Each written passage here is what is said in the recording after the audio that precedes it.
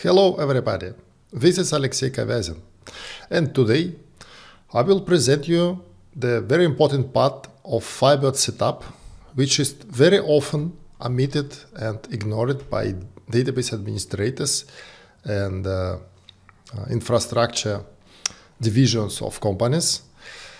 Firebird clients, why it is important to have modern versions of Firebird clients installed.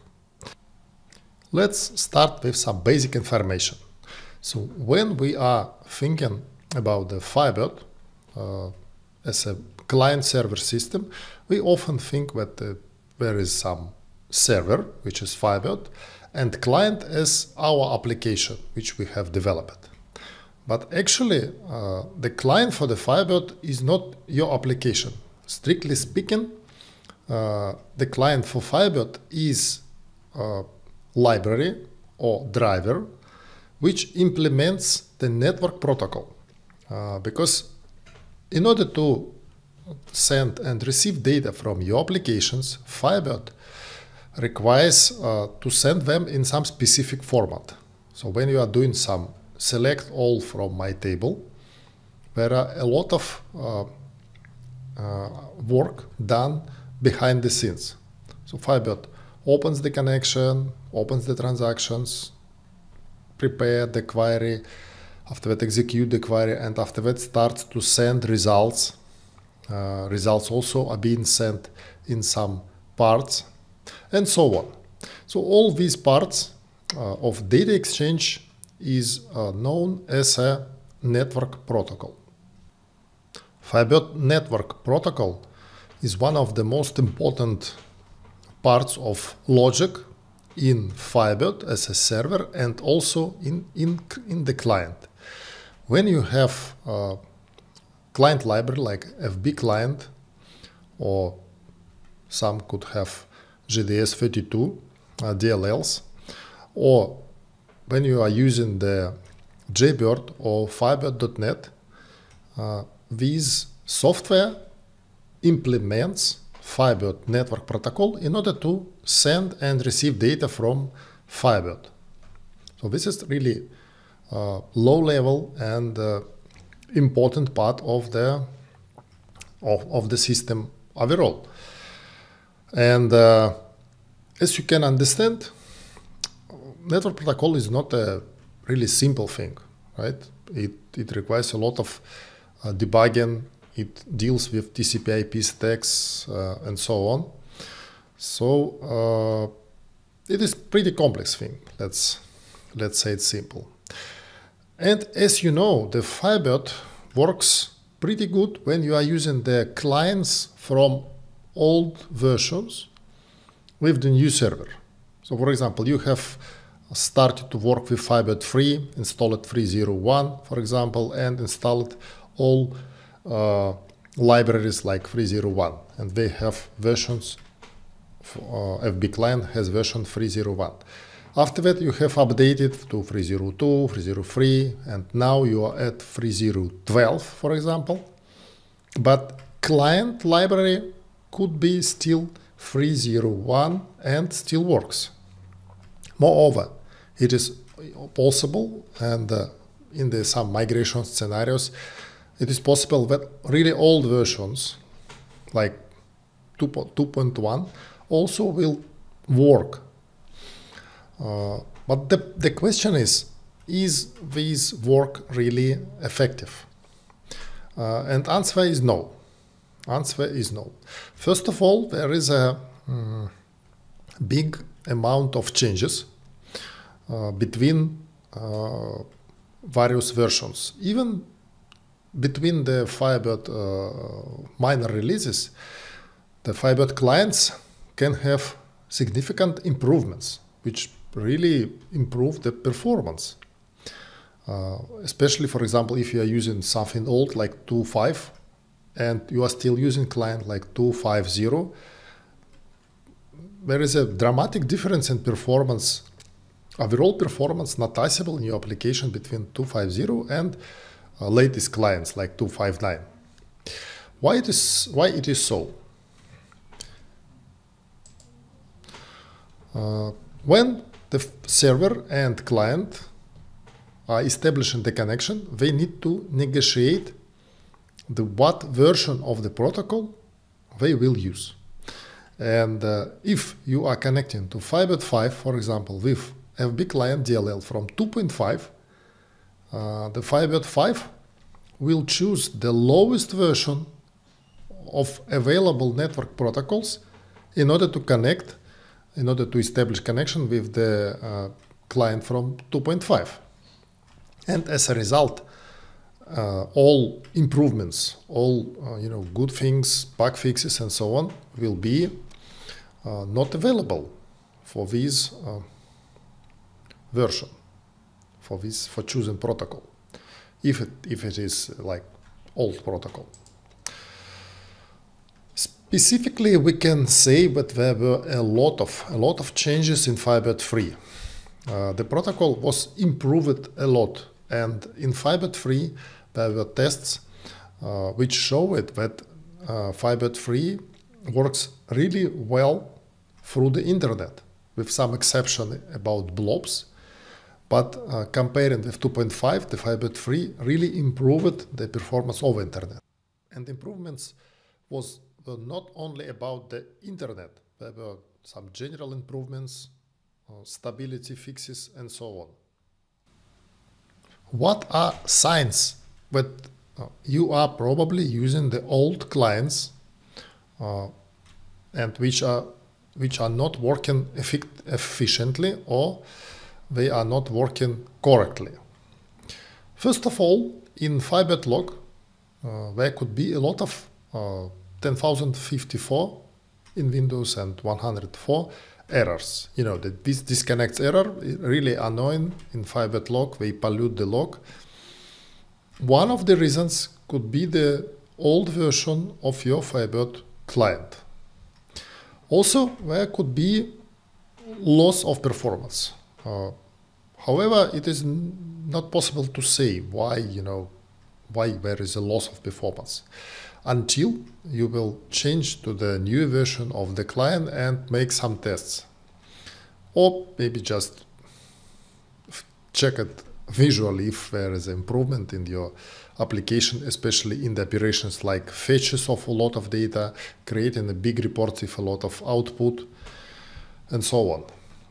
Uh, also, the, the, the, direct uh, uh, consequences of having the old clients will be the lag information in monitoring tables.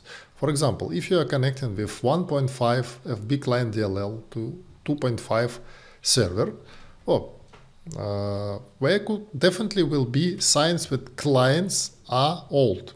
There will be no information in uh, monitoring tables because the since Firebird client does not report to the Firebird server information about the IP address, name of the uh, application which is using this DLL and so on. The in monitoring tables you will see FB, uh, we will see lack of this important information. So definitely there could be uh, other errors and uh, just to polish things and just to make sure that there is uh, no uh, just you know just to close this potential sink this potential source of problems it is really necessary to update your clients and use uh, the client versions corresponded to the server version. So how we can identify the versions of Firebird clients? Uh, it is really simple. You just need to start with the following query. Select distinct Mon client versions from Mon attachments. Uh, if your Firebird is, you know, too old to see this information, well, you need to update to the new version of Firebird. Uh, but also, of course, it's also a sign that you know you just need to check it to check clients manually, which is not really convenient. Anyway, uh, this query will show the client versions, and the good thing if they will be aligned to the Firebird server version. Also, there could be uh, connections through the Java driver, Jaybird, Firebird.net, and so on. Other, you know, drivers which implement the protocol, uh, not using the FB client uh, DLL. And of course, it is a good reason to update to the newer versions of the Firebird.net in Jaybird and so on. So it is pretty clear what you should do, you know, to get rid of the possible problems with Firebird clients. Just to use the same version, uh, the same version of the Firebird clients as your Firebird server has. Uh, so looks easy, but uh, always there are some peculiarities. For example, if we have a really close version like 3.0.11 and I just installed 3.0.12, is it, you know, does it make sense to update all the uh, all the computers? Especially this question uh, uh, is important for those who uh, has the installation of clients which are distributed through all the computers, not like you know loading uh, the executable and FB client DLL from the same uh, shared folder, which is a popular configuration, but distributed through all computers. And these computers can be in some remote places. And so this is a big work for administrator or you know to implement some script to deliver to change the FB client version and so on. So, so uh, the question is, should we really, you know, worry about it? Well, if you really want the polished and 100% correct system, yes, you need to update and make sure that all clients have the same version as the Firebird server has. It is not so critical if you are, you know, have difference like 3.0.11, 3.0.12. You just need to update all your clients uh, in some calm manner. So there is no rush, but it must be done. Of course, the same uh, thing applies for the non-native drivers, but by non-native I mean those uh, drivers which does not, which do not use the um, mm, FB client DLL to implement network protocol, like Jaybird and Firebird.net. So of course you need to use the latest version of these uh, drivers to ensure the performance, stability, and so on, not only in areas where they, uh, these drivers have fixes, but also just to use the latest uh, available version of network protocol with all fixes and improvements. And in the end of the presentation, I would like to, uh, to make the announce and invite all Firebird supporters to the exclusive Firebird Performance webinar. Uh, this webinar is a closed uh, live event which will be um, you know hosted presented by the Vladislav Khorsun, uh, the Firebird core developer uh, who is responsible and who implemented the big part of the Firebird internal uh, performance things. So he's the you know the mastermind behind the super server architecture in Firebird 3 and a lot of a lot of many many changes and uh, features of Firebird, and also I will help uh, with uh, you know some maybe less deep questions when uh, Vlad uh, you know likes to answer. Oh, just kidding. Of course, so we will do this presentation together uh, and we will try to address the most important performance issues with Firebird focusing with the newest improvements in Firebird 5, but not only some, you know, things which are over, often overlooked and so on. Uh, it will be presented at November 26 by Zoom. Uh, who can attend? Uh, this event only for those for Firebird supporters, Firebird associates, Firebird partners, and Firebird sponsors. So uh, also you, if you are old member of uh, Foundation Australia and your membership is still paid up till the date of webinar. Uh, actually, there are not so many such people. uh, you can also attend. So, I would recommend you to join the webinar. For this, you need to become the Firebird supporter and support development of Firebird with some, you know, monetary uh, investments, which starts like from with 10 euros per month. And this is really important for funding Firebird, not only for, you know, attending this webinar.